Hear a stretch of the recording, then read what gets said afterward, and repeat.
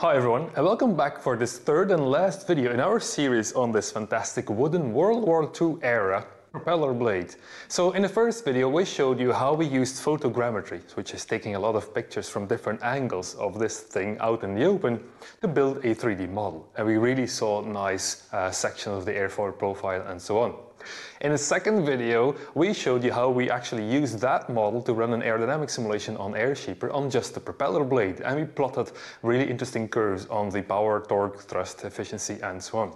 And in this last video, we're going to show you what happens if you put that 3D model of the propeller on a real, well not a real, but a public 3D model of um, the BT-13 aircraft, which is what we think was the aircraft, or at least one of the aircraft onto which this propeller was mounted in the past.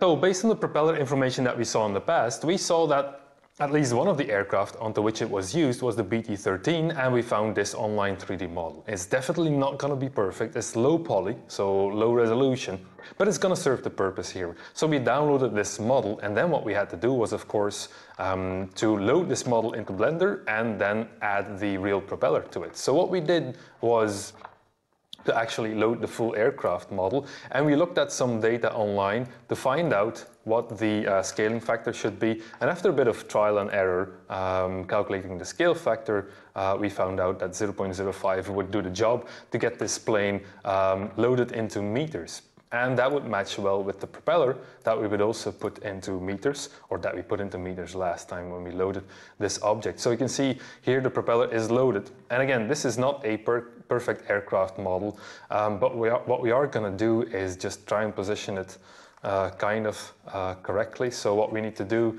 is just to um, join these two elements, and then we can move them so what I did previously, more precisely than what I'm showing you now, is to just rotate the propeller, um, then uh, put it in position, then rotate along the x-axis, the global x-axis, which is this one, put it to 90, and that's it. Um, that's the only thing we did, and then of course we deleted the old propeller, and then we exported this model. So the next thing that we did, um, after checking the wingspan dimensions and so on, was to upload the entire aircraft with this propeller mounted on top of it into AirShaper, and again set up the same simulation as before. So we have an RPM of 1900, and we have a forward velocity of 130 miles per hour. What we did do is increase the resolution um, because now the resolution has to be applied to the entire aircraft. So we need more CFD or mesh cells actually to capture the propeller accurately to make it uh, fair in terms of comparison. So we ran two simulations. The propeller alone before was 1 million. Now we did one with 10 million on the full aircraft and also one with around 60, 70 million cells. The Reminder here, this is the uh, propeller standalone simulation that we did. So you can see that there's a bit of um, uh, low pressure area here. If you look at the surface pressure, um, and of course we had the high pressure at the other side.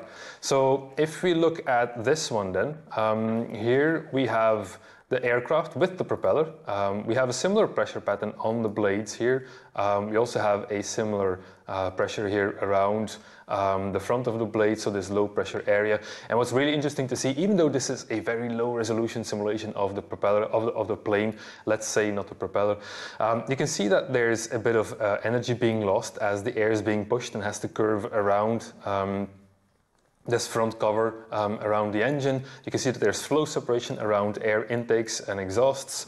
Um, the landing gear, let me switch to the more accurate simulation. So this is the highest accuracy.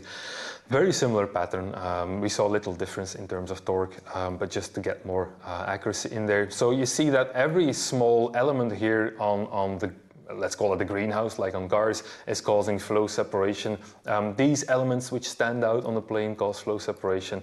Um, some of these are the result of the low resolution of the aircraft model. So you can see the low resolution. Our mesh is actually more precise than the resolution of this 3D model. So you can see some flow separation, but nothing dramatic.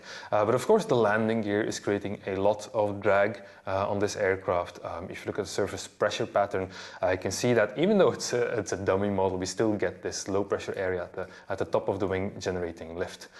Um, so let's go back to the propeller. So we ran the simulation and if I go back to my Excel sheet, so these are the two extra simulations On the full aircraft, uh, with the propeller included, so that means we went from a basic simulation, which is 1 million cells, to one with 10 and one with 50 to 100 million cells. And we saw that the the values didn't change much between these simulations, uh, so you could call this a mesh sensitivity analysis, uh, indicating that there's not much difference if you increase the mesh resolution beyond what we already had, which means um, it's a good sign for the reliability of the output.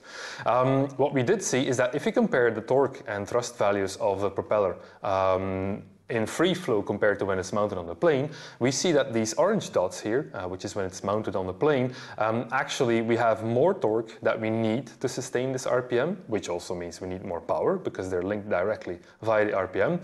But there's also more thrust coming out of this propeller. Now, why is this? Well, if you go back to the simulation, the downwash of the propeller is actually hitting the aircraft itself which means that you have a pressure buildup in the wake of the propeller, and this reflects back onto the rear side or the back side or the pressure side of the propeller.